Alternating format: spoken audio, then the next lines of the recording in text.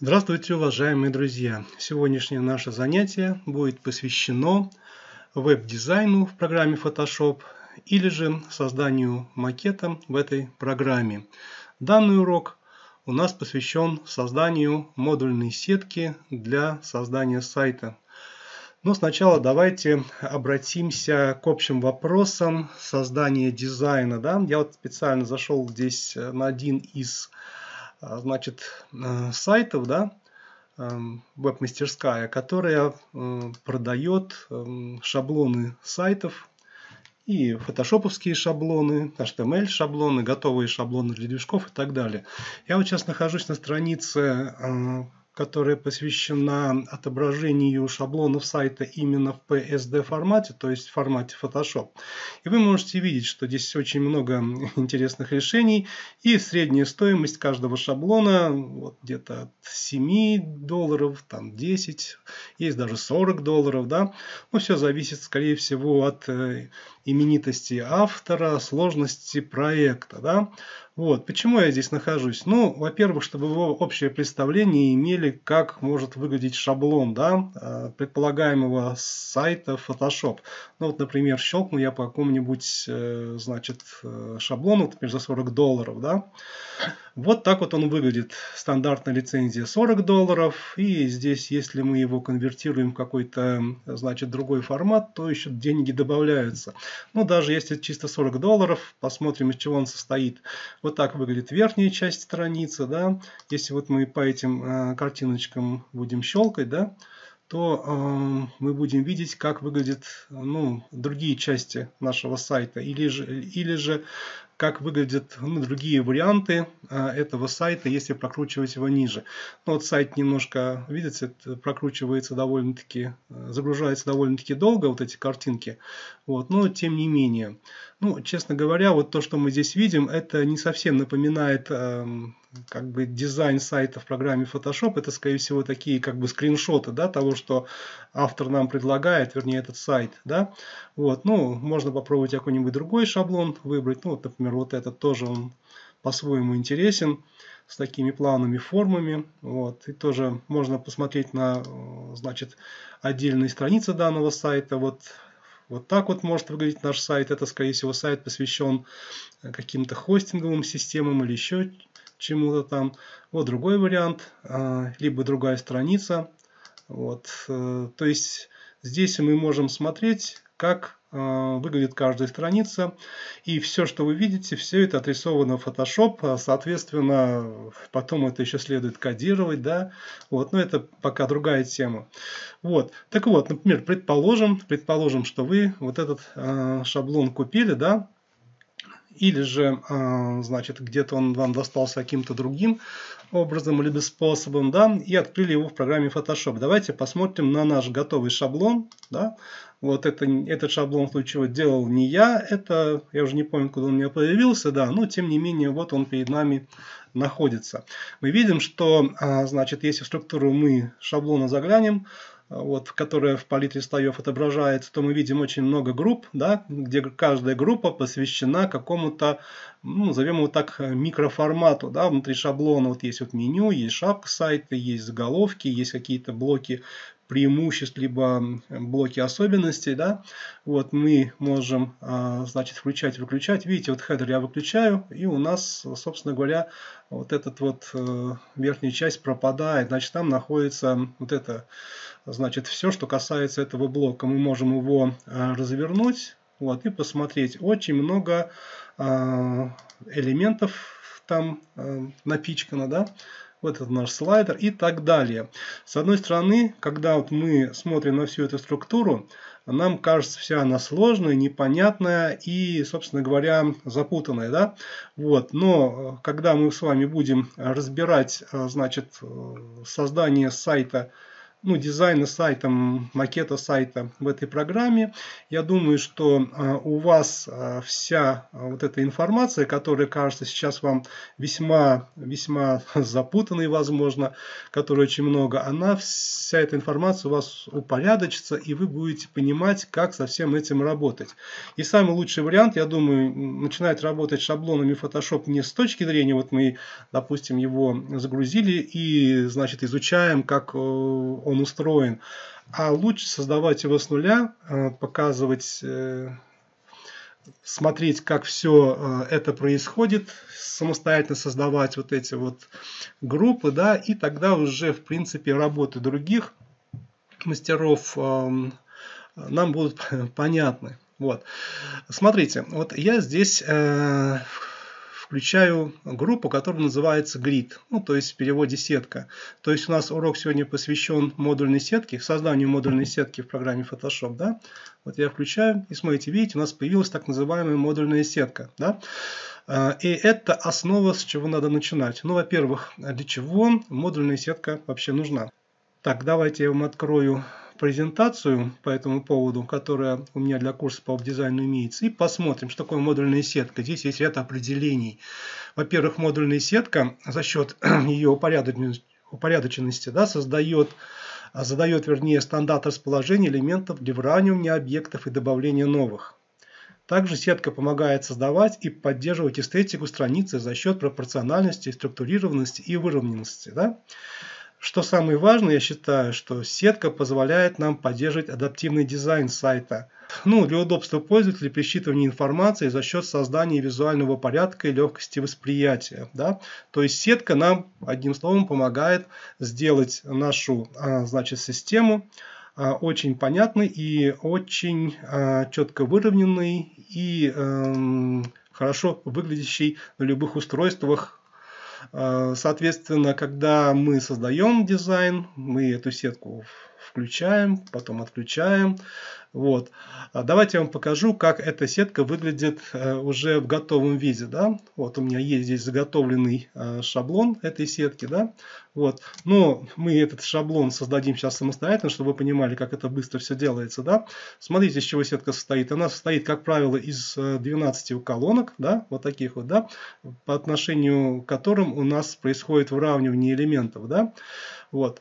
Значит, если мы находимся внутри вот этой эм, папки grid, вот этой группы, то мы можем, допустим, вот это вот выключать, вот эти вот колонки, вот эту сетку, да, можем также убирать вот вот эти вот направляющие, да, ну, честно говоря, их э, убирать, наверное, на этом этапе не нужно, так как э, к ним происходит привязка элементов, которые мы будем здесь создавать, да.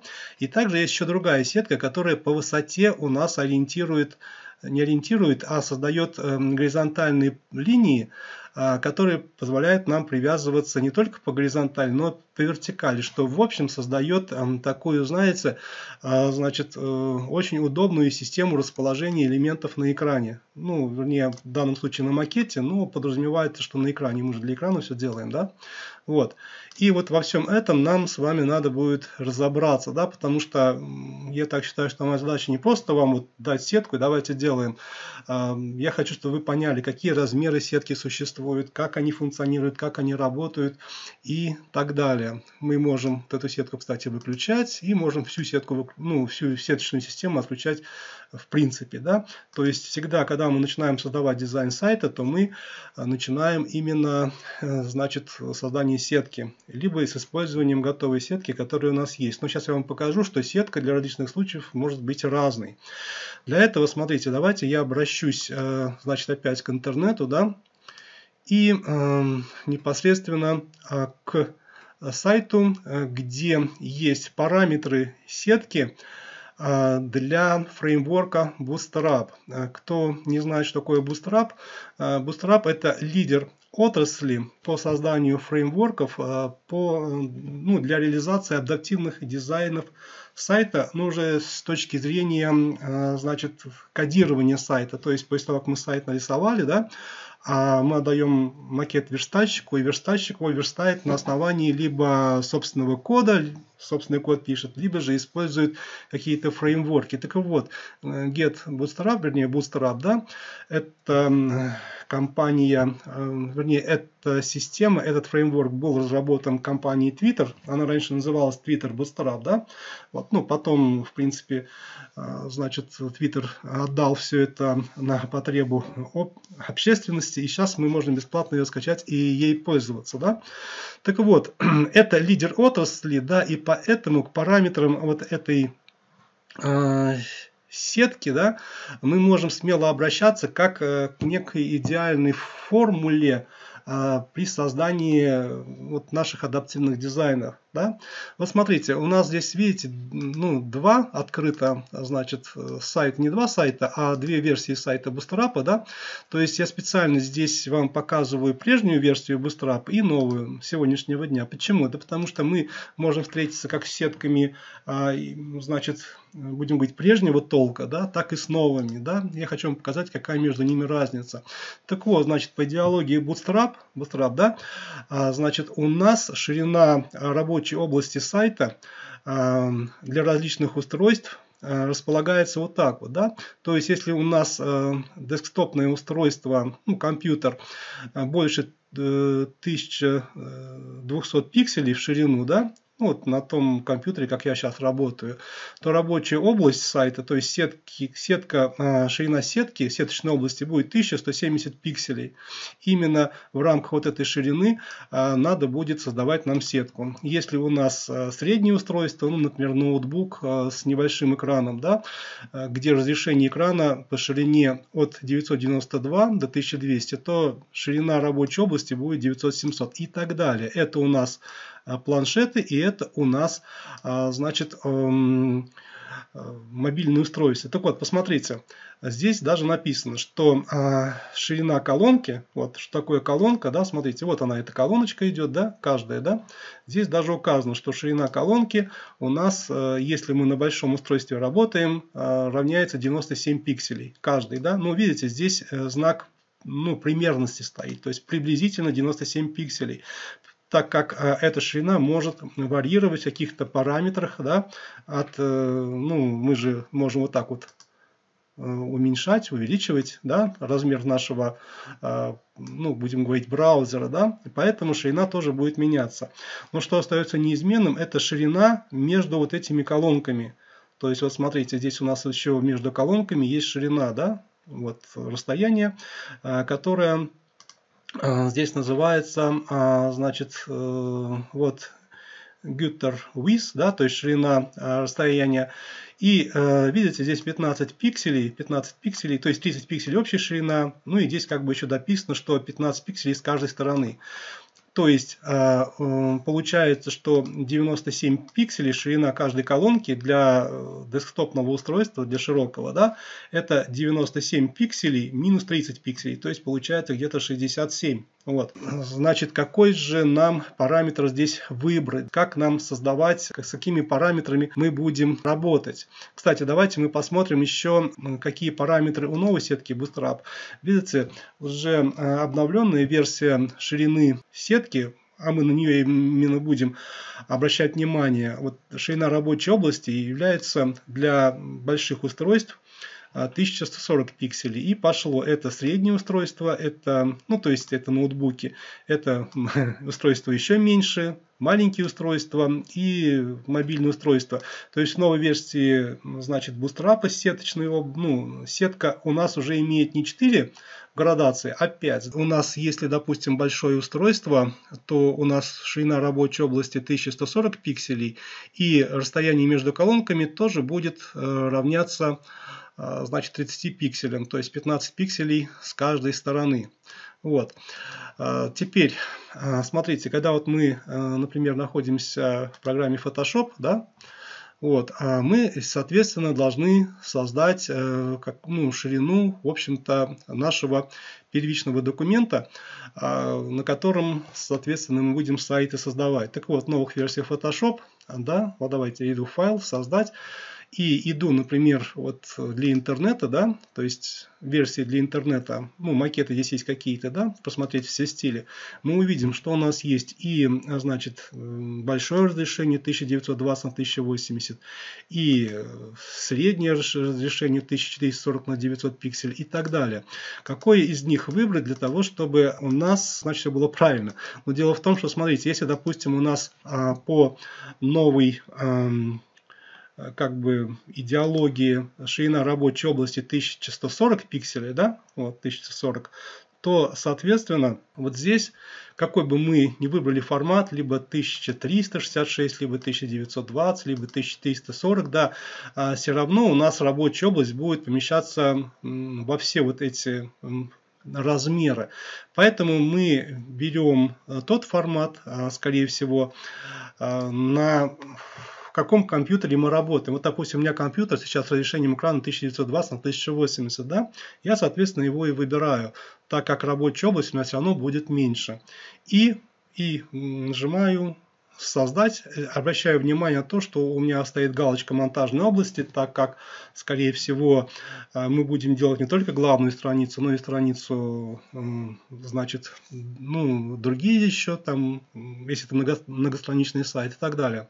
Итак, я говорю создать, создать. И у нас получается вот такая вот монтажная область, кстати. Да? Кто-то, кто привык в фотошопе работать в обычном режиме, наверное, не знает, что такое монтажная область. Монтажная область это, будем говорить, такая субстанция, которая позволяет в одном рабочем документе создавать несколько листов, будем так говорить. Вот смотрите, например, я по монтажной области щелкаю, да, и здесь появляются плюсики. Я щелкаю э, по плюсику. Видите, получилась одна страница, вторая, то есть документ. А это нажимаю и уменьшаю. У меня вот э, все вот так вот получается. Да, могу э, вот в монтажной области щелкнуть, вниз документ сделать. И пошло-поехало. То есть, например, это главная страница, страница там о компании, страница контактов. И здесь можно всю иерархию сайта создавать. Но сейчас у нас пока не, не данная задача перед нами не стоит. Сейчас мы будем создавать с самого начала только сетку, поэтому я делаю delete вот этого элемента, да, то есть я выделяю, ну, можно вот это выделить, тоже нажимаю клавишу delete. Если э, здесь он почему-то не выделяется, бывает иногда, да, то мы э, в палитре слоев это выделяем, нажимаем Delete. И снова клавишу Alt я нажимаю и увеличиваю, э, значит, непосредственно наш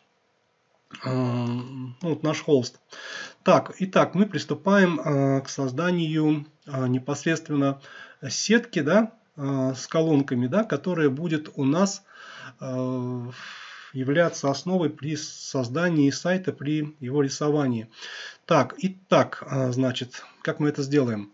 Смотрите, у нас, у нас здесь имеется пункт меню просмотр – и здесь есть э, такая команда, которая называется новый макет направляющий. Это, в принципе, команда специально создана для веб-дизайнеров, для того, чтобы создавать вот эту вот сеточную область. Итак, значит, смотрите, у нас а, здесь появляется вот такая вот, а, значит, вот такое вот окно, извиняюсь, да, где можно указать все те параметры, которые необходимы нам для нашей сетки. Собственно говоря, ну, мы их знаем. Значит, смотрите, а, здесь у меня уже стоят вот эти параметры, да, значит, которые а, нам необходимы именно для, ну, как бы для создания именно сайта в современных условиях. Но как я их вычислил, что, ну, понятно, что 12 столбцов у нас число, но вот эти параметры, а, все очень просто. Смотрите, вот я иду сюда, например, да, вот опять э, на сайт иду. Смотрите, вот у нас 1440, да, 1440 мы делим на 12, да, у нас получается, по-моему, 95, да, и 95 минус 30 получается 65. Вот и все, все очень просто. Смотрите, то есть я пишу, что ширина у нас, э, значит, 65 пикселей, ширина пикселей каждого столбца, вот этого, да, и 30 пикселей это расстояние между ними, да. И в итоге, в итоге вот эта вся рабочая область, вот эта вся рабочая область у нас будет равна 1440, ой, 1140 пикселей. То есть так, как в принципе нам и рекомендует, значит, Bootstrap, вот это вот фреймворк, видите, 1440. Соответственно, высота здесь будет меняться уже потом по мере того, как мы будем сайт заполнять. Смотрите, здесь если мы сюда, ну сейчас мы пока ничего не отщелкнется, почему? Потому что у меня вот окно открыто, да, и это а, окно у нас пока не активно. Смотрите, здесь вот есть центровать колонки, да, вот, э, видите, если я центровать убираю, то у меня смещается влево, вот я могу этот столбик убрать, у меня вообще ничего нету, ну, снова вставляю. И после того, как я это сделал, я нажимаю ОК. Так, теперь давайте посмотрим, что нам еще нужно. Смотрите, у нас здесь, э, видите, вот такие вот розовые колонки есть. Они очень удобны для создания сайта, как, так как помогают более точно визуально определять расположение элементов. Это тоже такой, знаете, нек, некий, некий э, визуальный стандарт, э, которым пользуются. Как мы это здесь все, в принципе, сделаем? Ну, все очень просто. Смотрите, цвет вот этой вот сетки у нас тоже, он, э, будем так говорить, э, общий для всех э, случаев жизни. Вот здесь на отдельно взятом слое мы можем увидеть, что он имеет прозрачность, допустим, значит 100%, ой, 10% прозрачность, но это, видите, просто красный цвет, красный цвет с прозрачностью 10%, да, вот. А как нам его, в принципе, легко сделать? Ну, здесь немножко придется потрудиться. Смотрите, вот все делается очень просто. Да? А мы а, берем инструмент а, прямоугольная выделенная область да, со сушевкой 0 пикселей, да, находясь вот на этом слое. Да, и берем алгоритм не просто, не просто выделенную область, а добавить к выделенной области, да, и просто создаем выделение. Причем мы увидим, что у нас каждая выделенная область, она у нас прилипает э, к вот этим направляющим, да, что делает процесс очень удобным и э, довольно-таки быстрым. Вот. Но, тем не менее, все равно придется здесь чуть-чуть, э, будем так говорить, повозиться. Да? Вот. Э, но Зато потом вы можете создать для себя ну, некий размерный шаблон и шаблон сетки, да, который будет служить вам э, как бы верой и правдой при создании макетов ваших сайтов. Вот. Стоимость примерную вы видели. Вот. Но это на сайте только стоит. Если как бы вы уже именитый дизайнер, да, то каждый э, отдельно взятый дизайн будет стоить гораздо же дороже, потому что у них там ширпотреб Любой человек может купить за 10 баксов этот шаблон. Вот, а вы, допустим, предположим, что вы делаете уникальный. На Ice я просто беру красный цвет, вот так вот, да. И вот на этом слое, находясь, я просто беру и вот заливаю сюда. Видите, у нас сетка получилась. Я нажимаю комбинацию клавиш Ctrl-D, снимаю выделение, да, вот, и э, делаю прозрачность слоя 10%. Вот так вот. И у нас получилась вот такая же сетка, как, допустим, и на нашем эм, шаблоне. Да? Но вы можете сказать, что э, а что а бы это не использовать, скачали и все. Но дело в том, что вот параметры этого шаблона другие совершенно. Ну, не совершенно, но другие. То есть здесь параметры именно, э, которые относятся к старой сетке Bootstrap. Видите, по ширине 11 70. Там побольше колонки, а это уже то, что я сейчас делаю, относится уже к новым параметрам. Да? Вот. А вообще, по идее, надо делать сетку не только для, эм, значит, э, для больших устройств, ну, вернее, не сетку, а макет. Но вы также должны создать дизайн, э, макет сайта, как он будет выглядеть на средних устройствах, ну, то есть на планшетах и на мобильных. Получается, для каждого случая вам э, нужна будет разная сетка, и вы так или иначе должны будете делать самостоятельно. Ну, или, искать, где такое искать скачать. Кстати, потом я вам покажу, где это можно сделать. Так, ну давайте я снова зайду значит, наш Photoshop. Э, так, именно наш макет. Э, кстати, так, все эту, эту часть мы сделали, да?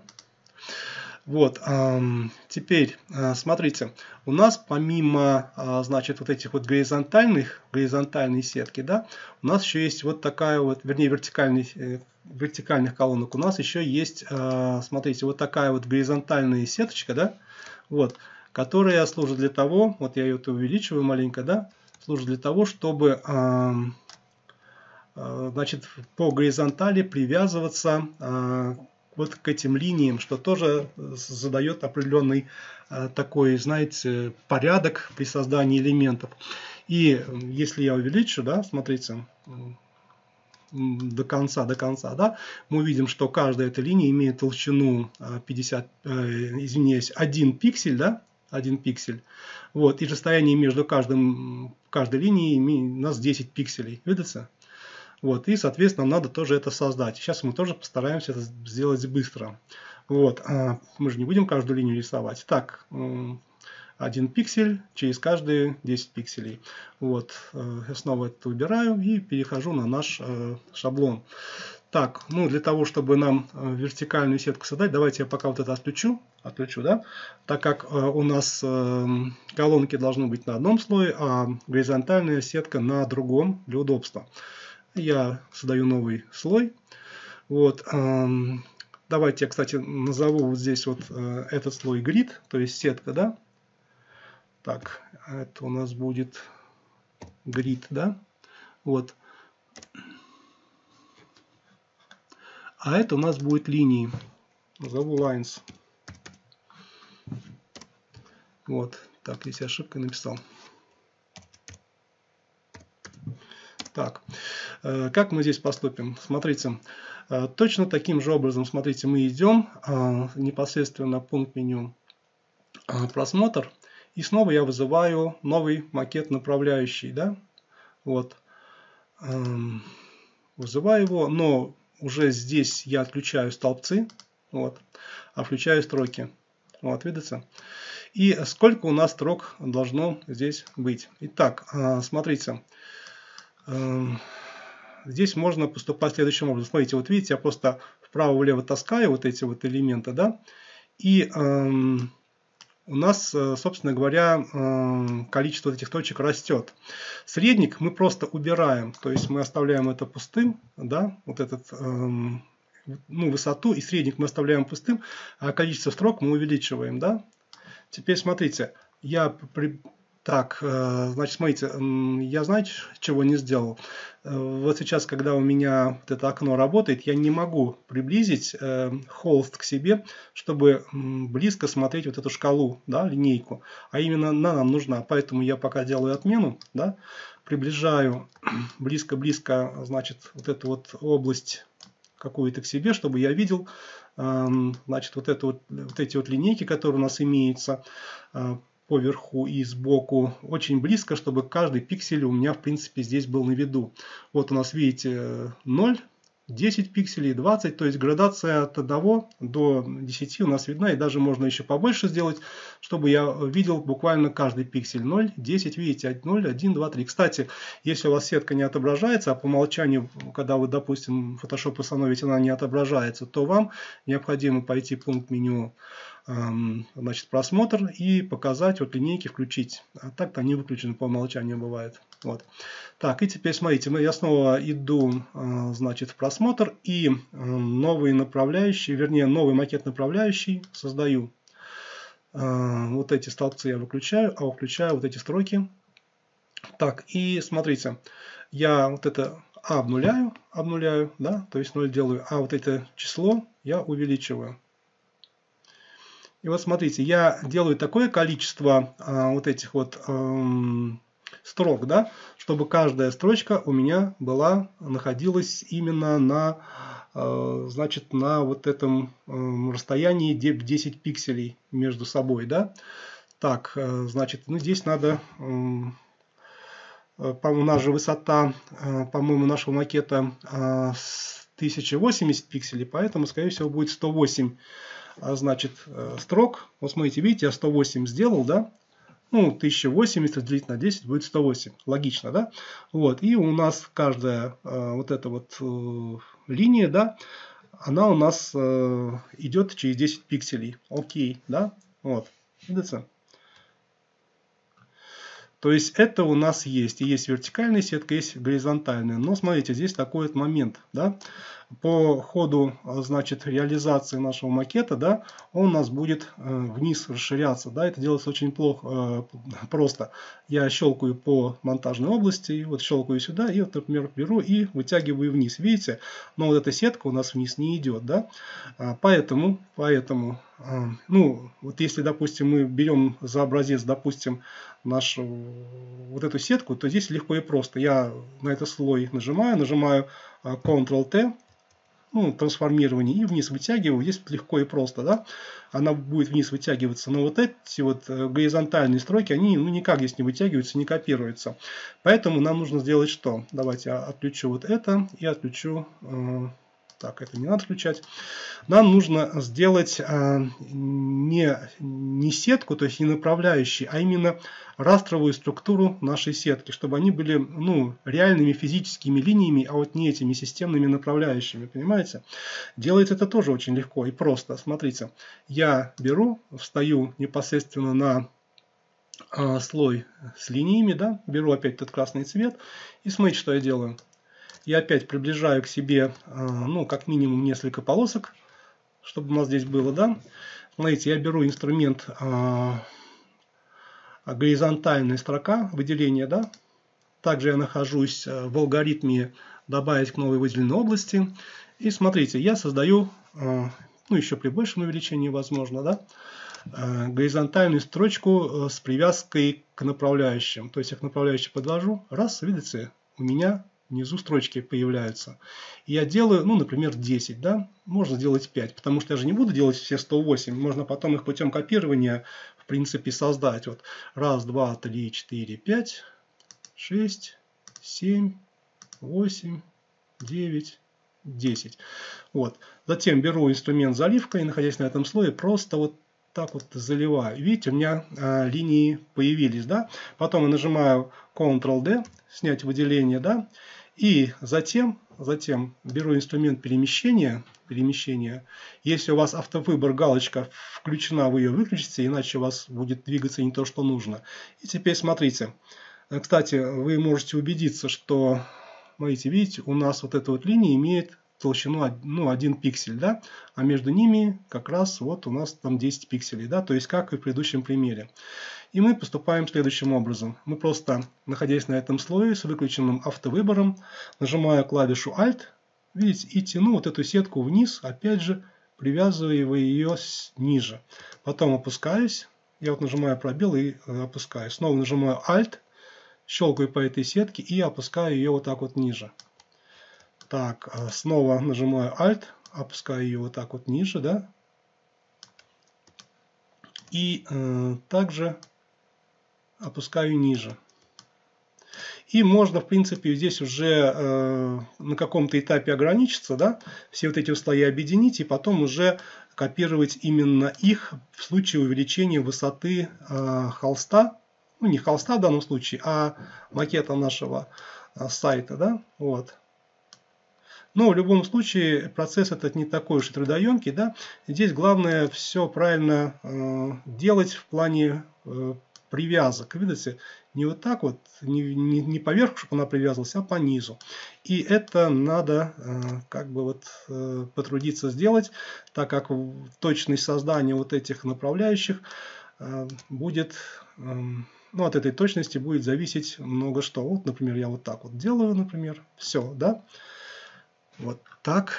Теперь смотрите, здесь есть небольшой такой вот э, э, финт один. Ну, во-первых, смотрите, давайте вот все вот эти слои, которые у нас реализуют эту горизонтальную сетку, да, вот, горизонтальной линии сетки, я с shift их все выделяю, да, и нажимаю комбинацию клавиш Ctrl-E, чтобы объединить их в один слой. Вот у нас это получилось, да.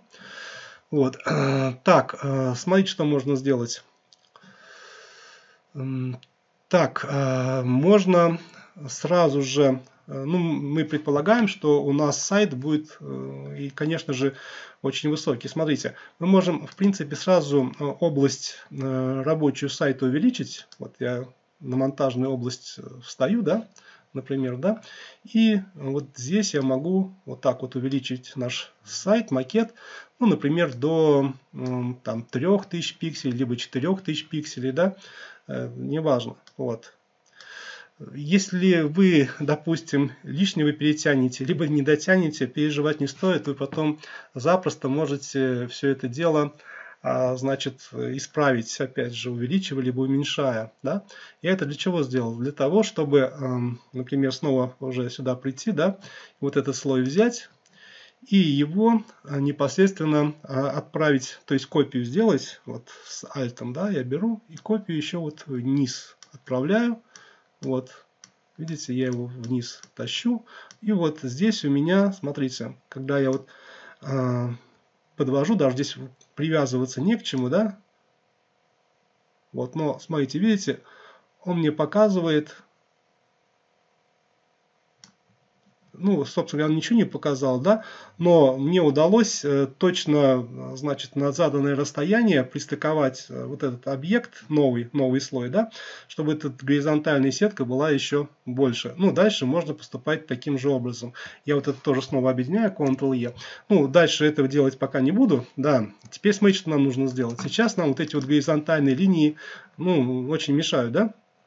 Вот, э, и Здесь, конечно же, можно э, поступить э, следующим образом. А, кстати, вот прозрачность э, данному слою надо тоже сделать 10%, чтобы они, эти линии были еле видны и только при большом увеличении они были заметны. Здесь можно поступить несколькими значит, способами. Но вот эти вот горизонтальные линии нам уже вообще никогда не нужны будут, потому что у нас есть, собственно говоря, вот эти, да, уже нарисованные нами элементы, да. Вот. А э, если, допустим, их убирать временно, например, да, то вот здесь вот есть такая вот комбинация, вот показать, вот направляющие, Ctrl плюс можно нажать, и видите, их у нас нету, либо Ctrl э, плюс я нажимаю, не появляются. Так, сейчас посмотрим еще. Э, просмотр, эм, показать направляющие. Да, Ctrl плюс. А, Ctrl э, с точкой запятой, извиняюсь. Эм, Ctrl э, точка запятой. Кстати, точка запятой, которая находится на букве G на клавиатуре. Вот здесь она включается, да? Но смотрите, видите, здесь у меня сейчас э, получается, что появляются горизонтальные линии и вертикальные, да? Мне нужны только вертикальные, горизонтальные не нужны. Поэтому придется сделать таким образом. Я иду в пункт меню значит, просмотр и говорю удалить направляющие. Все, удалить направляющие. Вот. И после того, как я удалил направляющие, это сделал для того, чтобы у меня горизонтальные направляющие навсегда ушли. Потом э, я иду снова в пункт меню э, просмотр, новый макет направляющий. Да? Значит, беру, соответственно, вот эти. У нас число столбцов 12. Здесь э, 65. Э, здесь у нас 30 и все. Видите? Окей. Так, э, можно вот эти вот Ctrl-T линии вытащить сюда до конца. И можно потом их вытягивать, вытягивать сколько угодно раз. Вот, и у нас, смотрите, у нас появилась э, вот такая вот сетка, выполненная с учетом самых послед... ну, последних требований к модульной сетке, да, вот примерно так же, как и здесь. И таким образом у нас, э, значит, модульная сетка для э, создания нашего сайта готова. Мы, кстати, можем вот здесь объединить это все в один слой, в одну группу, вернее. Я выделил два слоя, нажимаю Ctrl-G. Вот. И здесь нажимаю, пишу, что это grid. Да? Grid, сетка. Соответственно, когда мы будем копировать монтажную область, эта сетка будет, э, значит, за нами следовать, да, и мы будем ее везде использовать так, как нам нужно, да. А вот этот монтажную область тоже можно назвать, ну, например, там главная, да, главная страница. Так, я по-английски пишу. Вот, либо home можно написать. Я опять ошибка написал. Все. И вы теперь сохраняете этот файл не, там, не с каким-то а именно с внутренним э, расширением Photoshop формат PSD, чтобы вы потом могли дальше продолжать здесь работать. Итак, мы на первом нашем занятии создали нашу модульную сетку для создания э, макета нашего сайта.